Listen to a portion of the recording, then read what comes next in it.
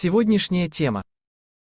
В субботу 19 мая покупатели смогут посмотреть в глаза изготовителям продуктов питания и задать любой вопрос о качестве и составе продукта, который они покупают.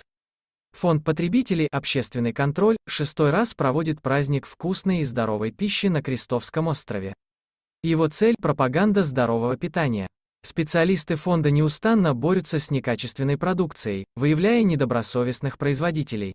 Раз в году они предлагают изготовителям пищевых продуктов выйти к покупателям и самим встать за прилавки. Приобретая товар, гости фестиваля смогут общаться с изготовителями напрямую без торговых посредников. Ведь о том, из чего делают творог, как правильно выбрать вареную колбасу и какие добавки используют при производстве мясных консервов, лучше всего знает директор молочного или колбасного производства.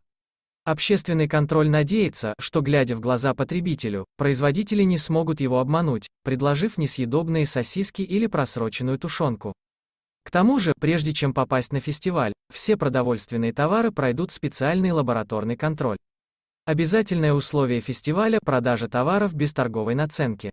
А макаронами по-флотски угостят всех желающих бесплатно. Полевая кухня – традиция, вкуснограда. Организаторы действа обещают, что праздник будет не только вкусным, но и веселым.